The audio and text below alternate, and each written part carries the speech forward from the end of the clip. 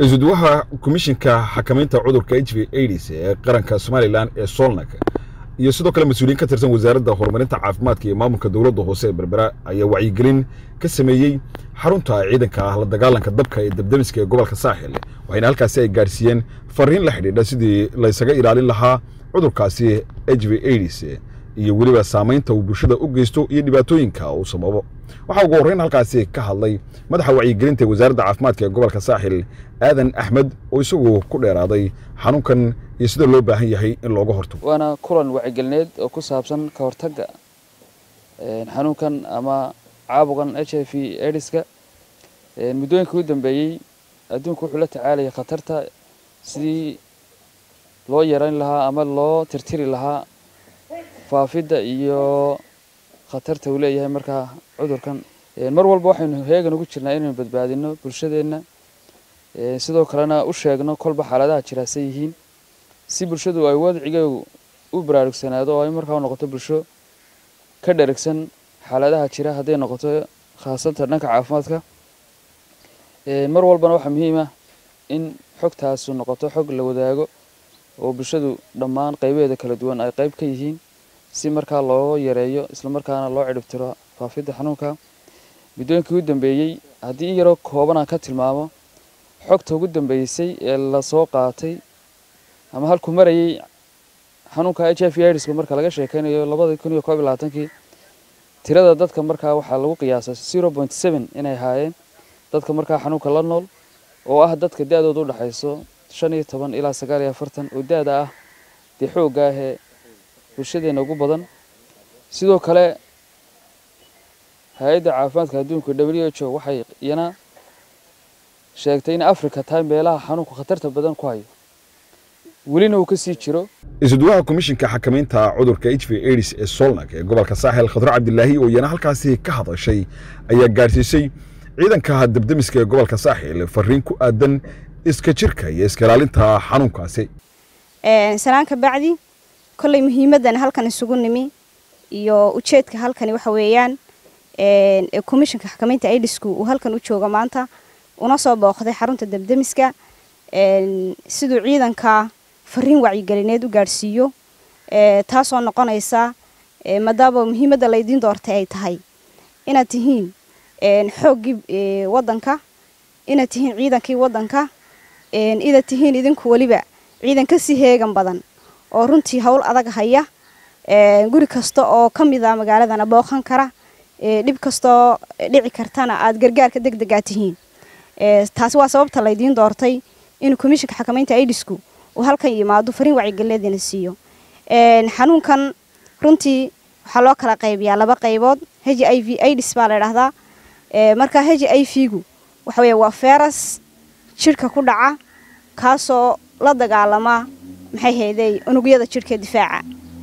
Markaa qofku markuu xanuunkaasi ku dhaco haddii uu maxay hayday uu si fiican maxay hayday dawadiisa u qaato xarun caafimaad la xidhiidho qofkaasi wuxuu noqonayaa qof bulshada ka mid ah oo si saxa u noolaan kara xanuunkuna maaha runtii xanuun dilaaya maaha oo xanuunka laftarkiisu wax ma dilo.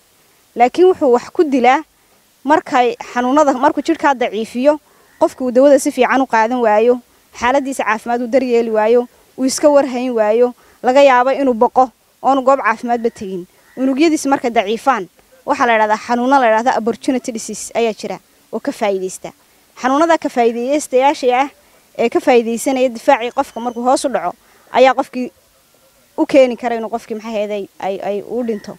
Laakiin xanuun marka horeba wax dila maaha agaasimaha waxda arrimaha bulshada ee dowladda hoose xasan cabdi cali iyo sidoo kale taliyaha ciidanka debdemiska ee gobolka saaxil.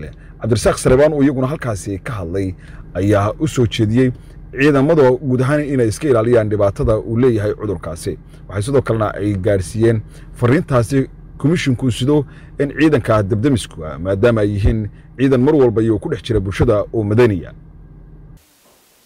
Kuley marka la arko magacan iyo booqashada nolo ka yimi dadku si kale u tarjumanaya waxa odhanayaan war meeshii.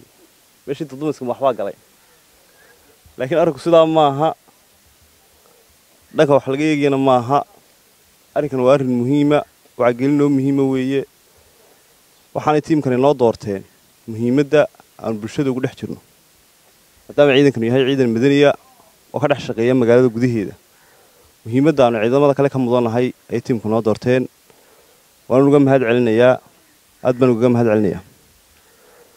Dhammaan ciidanka iyaga iyo ka ciidan dabdamis ahaanna waxaan rajaynayaa inaanu noqonno qaar weeleeya wacyigelinta nala siiyey oo wax ku qaata waxna ka barta.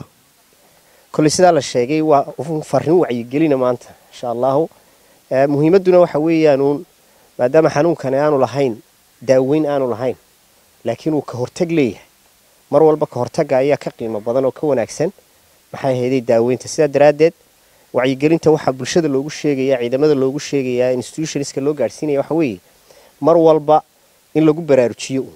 Waayo rag dhallinyaraa oo ciidana tababar qaba wax badan loo soo sheegay nolosha wax fara badan soo arkay baa tihiin. Laakiin waxa weeyaan waxaad og tahay ma kuu sheegaa ayuun baanu u soconnaa maanta haddii ilaahay ka dhigo. Xanuunka sidaa la sheegay dee waxa weeyaan waa xanuun burburinaya difaaca qofka bini'aadmiga ee jidhka inagu markaynu eegno hayraar kale waddankeenu qaabku u dhisan yahay dee wuxuu leeyahay ciidamo la yidhahdo military ciidamo la yidhahdo bilays ciidamo la yidhahdo dabdamis.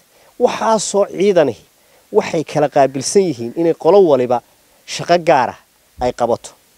Difaaca qaranku ciidamada militariga iyo wixii soo raaca dee ciidamadoo dhamme ay ka mid yihiin dabcan haddii ay wakhtigeeda gaadho ayay u qaabilsan yihiin. Sidaa awgeed sidoo kale jidhka bini'aadmigana ilaahay wuxuu u abuuray ciidamo militariyahoo ilaaliya oo kala duduwan shaqooyinka ay qabanayaan. Waana difaaca jidhkeena ilaahay ku abuuray subxaana wa ciidamadu haddii ay daciifaan oo xooggii dalka ilaalinayay uu burburo macnaheedu waxa weeyaan cadow kasta dee uu isaga soo qoslaya ilaa wuxuu isku tirinayaa ama cid ka horraysaa ma jirto soo maha waa sababta keentay markaa xataa bakteriyooyinka kula nool ee jidhkaaga ku nool ee waxtarka kale leh. Markay og yihiin difaacii jidhka ee aanay mari karayn inuu jiro iskuma dayayaan weerar. Laakiin markay ogaadaan inaanu wax difaacayaaba jirin shaqadoodii ay hayeen intay ka leexdaan bay qabanayaan shaqo kale oo markaa jidhkii qofka bini'aadmiga ah khatar ku gelinaysa. Mukhtaar cabdiraxmaan maxamuud telefishinka qaranka somalilan berbera